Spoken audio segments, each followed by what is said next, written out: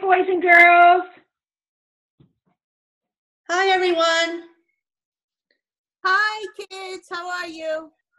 Hi, guys. Hi, everybody. I miss you. Hi, everyone. Now, I hope you are all well, and I hope you are enjoying all of your activities at home. Now, we have been learning geometry. We have been learning about all the different shapes that, that we could find in our home. We learned about the circle. We learned about triangle. We learned about squares. And today we are going to focus on the rectangle. This is the rectangle. Look at it. What does it look like? It has two long sides and two short sides.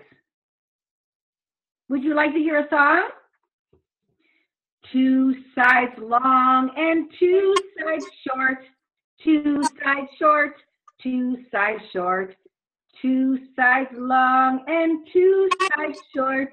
This is a rectangle. Now we went on a scavenger hunt in our homes and we searched for as many rectangular objects as we could find. Would you like to see what we found? I found an aluminum foil box I also found a rectangle iPad. And I also found a picture frame. What did you find, Sue L? I found an American flag, or any flag would be rectangular. I found a book and I found an eraser. Nice. How about you, Peggy? I found a control remote. I found a soap.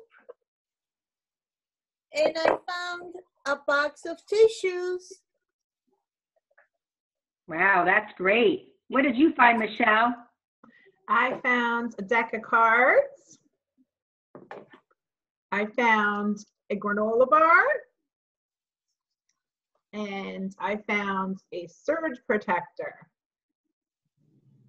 Ooh, that's cool. How about you, Sue R? What did you find? Well, I found an iPhone holder. I found a DVD jacket. And hmm. I found a gift box. That's great. Thank you. How about you, Debbie? I found an eyeglass, eyeglass case, a box of spaghetti, and an envelope. That's awesome. We found some great rectangular objects or rectangular prisms. Would you guys like to go on a scavenger hunt in your home? How many rectangles can you find? You go on your hunt and you let us know. Bye, guys. Bye, guys. Bye, everyone.